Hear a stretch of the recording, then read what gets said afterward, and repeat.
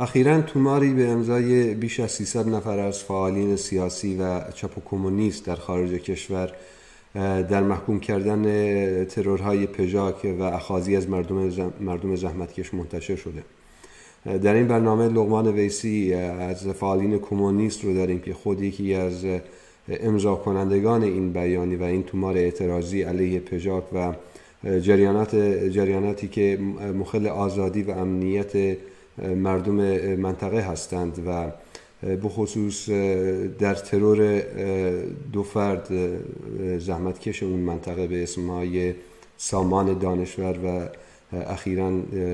سوران اختر سمر که هر کدوم به دلایل متفاوتی توسط پژاک ترور شدند. سوال من از شما اینه لغمان نویسی که جایگاه و موقعیت این تومار اعتراضی رو شما چگونه ارزیابی می‌کنید؟ درود میگم به شما و به بینندگان و شنوندگان عزیز رادیو نینا. قبل اینکه بخوام سوال رو جواب بدم لازم می‌دونم که حملات اخیر دو رژیم سرمایهداری و جنایتکار ترکیه و جمهوری اسلامی به اقلیم کردستان رو که متاسفانه تلفات زیاد زیادی داشته جان تعداد زیادی از مردم بیدفاع منطقه رو گرفته و همچنین باعث آوارگی تعداد زیادی از مردم روستاهای منطقه اقلیم کردستان شده. کمونیست ها طبیعتا باید این حملات رو محکوم کنند و در برابر تجاوزات جنایتکارانه این دو رژیم ضد انسانی بیستند. در مورد سوال شما هم قبل اینکه بخوام وارد مسئله تومار بشیم لازم می‌دونم که اینو بگم. جریان پژاک یک جریانی هستش در دوره تأسیس شده که هیچ ضرورتی تاریخی در جامعه کردستان ایران برای تأسیس این حزب وجود نداشته. این, این جریان بخش کردستان ایرانی پککه هست که پکک از این طریق می‌خواد به هر حال سیاست های خودش رو پیش ببره و همچنین در رقابت با جریانات کمونیست و همچنین احزاب حاضر در کردستان ایران این جریان تشکیل شده. در سالهای اخیر هم که منطقه خاورمیانه و سوریه وارد وضعیت جدیدی شده جنگ داخلی سوریه باعث شده که رابطه پککه و جمهوری اسلامی در یک قطبی بیشتر به هم نزدیک بشن و این طبیعتا تاثیر داشته روی سیاست های پژاک در کردستان ایران. اخیرا هم در منطقه اورامان در ادامه کارهایی که پژاک داشته از جمله اخازی باجگیری از مردم و همچنین ترور مردم زحمتکش منطقه جوونی رو در روستای رودبار منطقه اورامان ترور کرد و این مسئله باعث به حال واکنش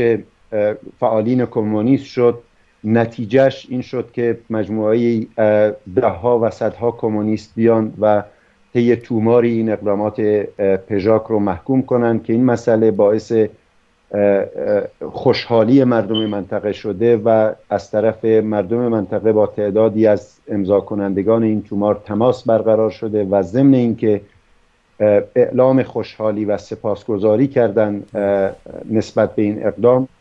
خودشون هم طرفدار این بودن که واکنش نشون بدن ولی به دلیل اینکه هم جمهوری اسلامی می‌تونه سوء استفاده کنه از واکنش اونا و به نفع خودش من مسئله رو مصادره کنه و همین که تهدیدات به دلیل تهدیدات واقعی که پژاک در منطقه داره بالاخره این مسئولیت به ما کمونیست ها که می‌تونیم این اقدام رو انجام بدیم سپرده شده که به نظر من تاثیرات خودش رو داره و می‌تونه مفید باشه و می‌تونه در, در بخشی از تکامل جنبشی باشه که ما کمونیست ها علیه جمهوری اسلامی در پیش گرفتیم بله. و همچنین رجاع داخلی و ناسیونالیستی در منطقه در حالی که پژاک طبق اسناد مصوبه خودشون خودشون رو یه جریانی همسو با جمهوری اسلامی معرفی کردن و علنا هم گفتن که خواهان سرنگونی جمهوری اسلامی نیستن.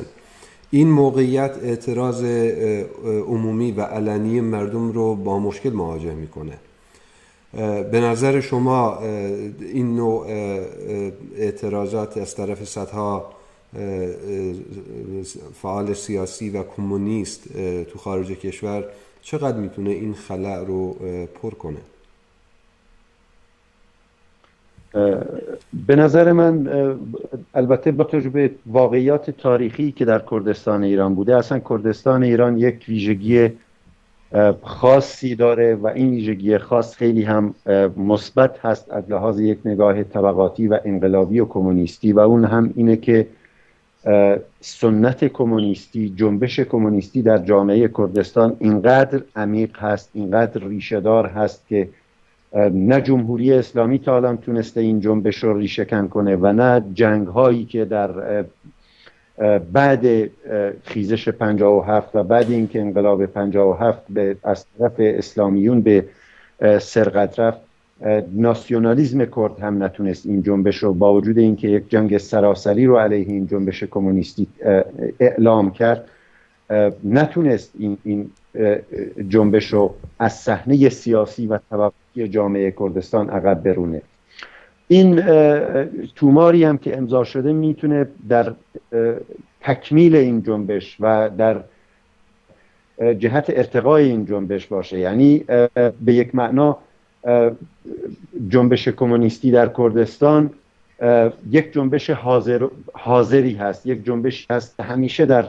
نقطه عطف و در مسائل مختلفی که در کردستان اتفاق افتاده حاضر بوده. و